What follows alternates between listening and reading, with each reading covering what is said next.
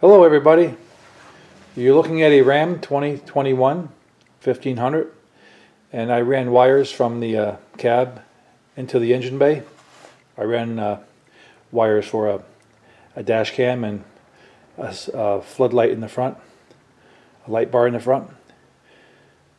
So let me show you how I ran the wires through. On this vehicle it's really easy to do. Over here you have, of course, you have the brake pedal.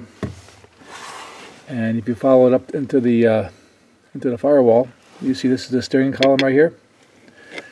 Next to the steering column, you got this rubber boot, and coming out of this boot is the parking brake. So all you do is you pick up this boot right here, and you uh, push through that rubber right there, that rubber grommet, cut it with a knife or something, and you're able to slide your wires through. Extremely easy to do on this vehicle. Let me show you on uh, the, engine side what it looks like.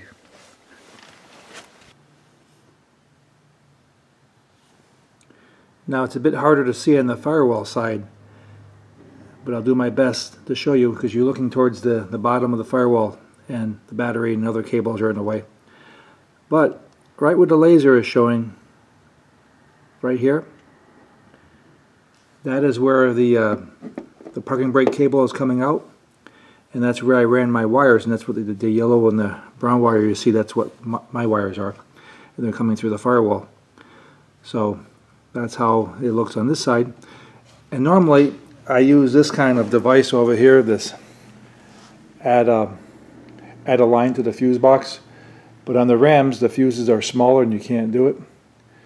So I ended up just coming straight off the battery over here and uh, you got a cable a screw on the outside here so I just put a, a wire positive and negative same way on the other side of the battery.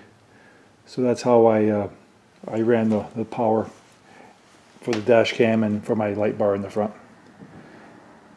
When you're all done doing the job what I did is I just put a little bit of silicone and I just put a little silicone on that rubber boot to keep it waterproof.